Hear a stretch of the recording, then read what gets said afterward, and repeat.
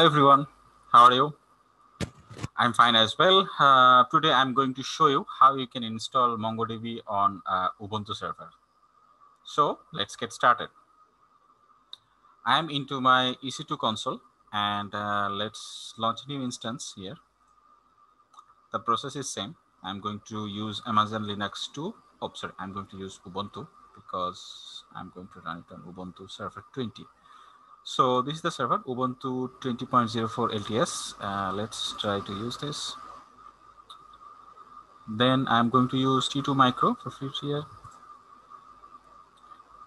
Number of instance one, um, domain IAM role. I'm going to use an IAM role, which is EC2 SSM. Shutdown behavior stop, and then everything is as usual. Next, add storage. I keep it 8 gigs. Add tags. Let's add a tag here. Project MongoDB. Configure the security group. Um, let's SSH. I don't need to use SSH because um, uh, I will be using um, AWS Systems Manager. So review and launch. So I'm going to use uh, this key, WordPress, and let's launch the instance.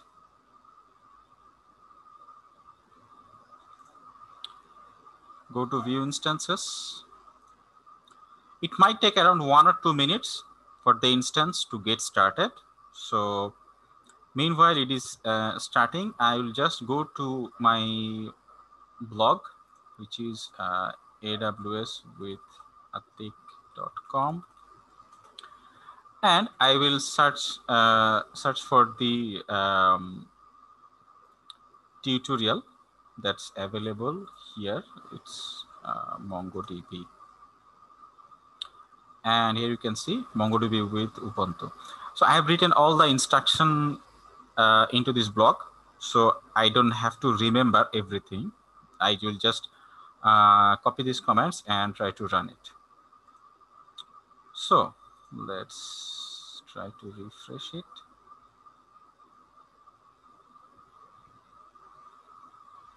Okay, instance is up and running. Let's connect.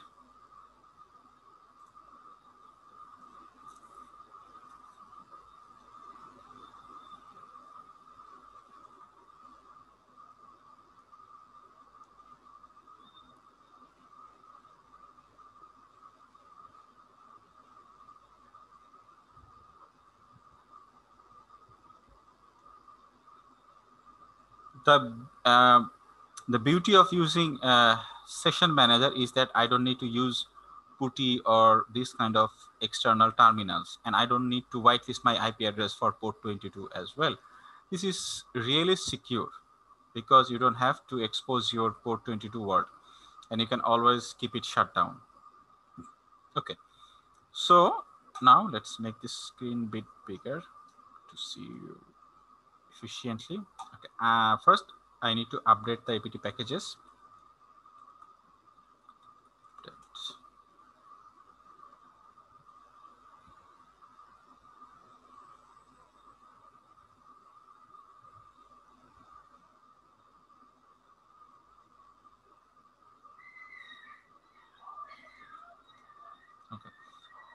Then I'm going to just copy this command. Um, before that, I will switch my privilege to root.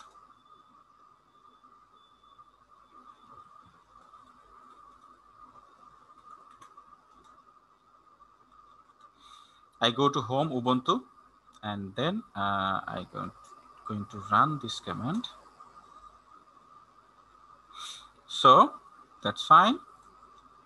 Then I'm going to run this command.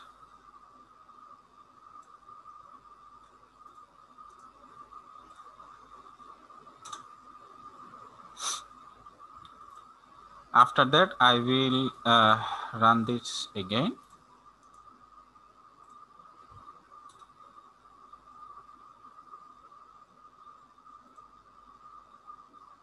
and then um, I will install the MongoDB.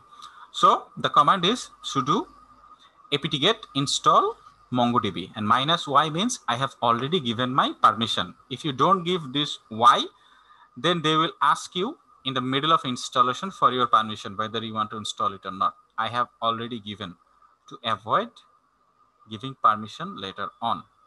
And as you can see, it will automatically install and show me the success message.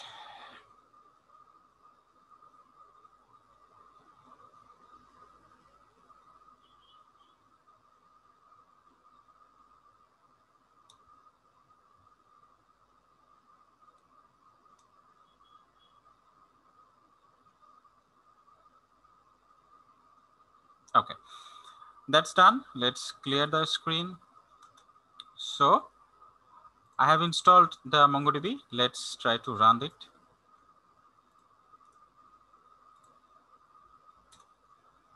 Okay, let's try to check the status.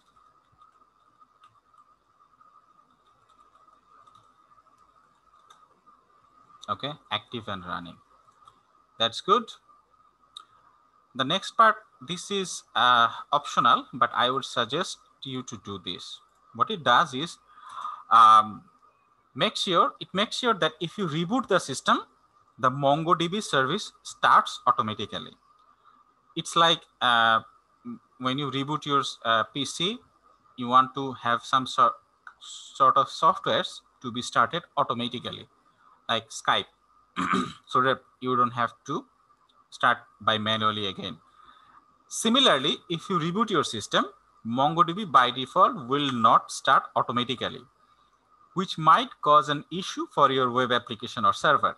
So if you run this command, sudo systemctl enable MongoD, that means it will enable the MongoD system automatically if you reboot your server.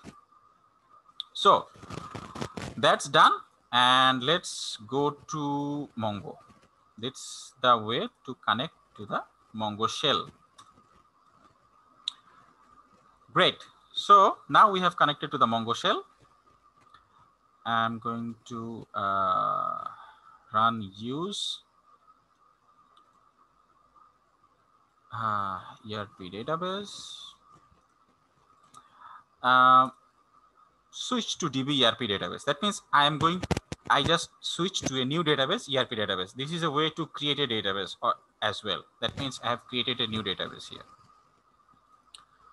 Then I'm going to insert some data here. So let's copy this and uh, run it here.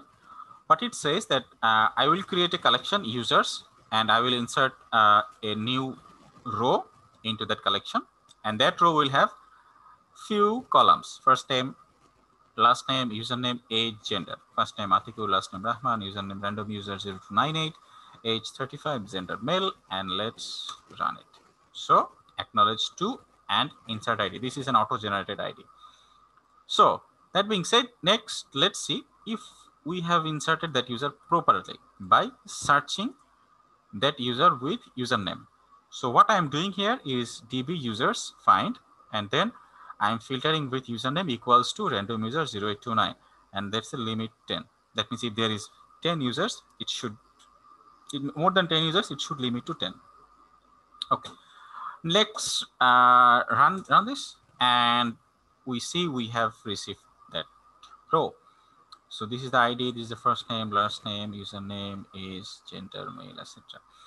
Now I have only one row. Let's add multiple rows here so by just copying this and in a notepad i just uh, just change a few values. Pick some pick some user age 20 gender female so let's try to insert another one.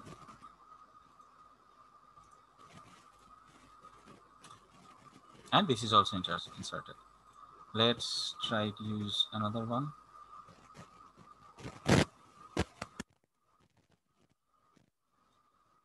Thirty-four, some thirty-four. Edge. Let's do that. Thirty.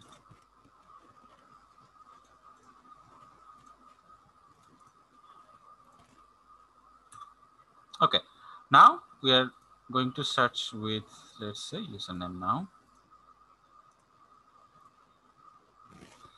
And let's say uh, sorry uh,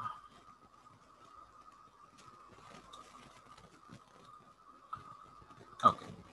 And it now get me the results over there. And this is not only for uh, searching with username. I can do that with age as well so uh, oh, sorry i have to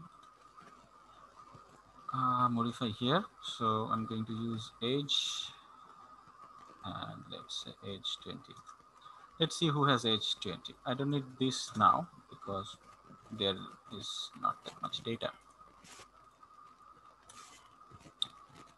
And there is no one with age 20 strange. Um,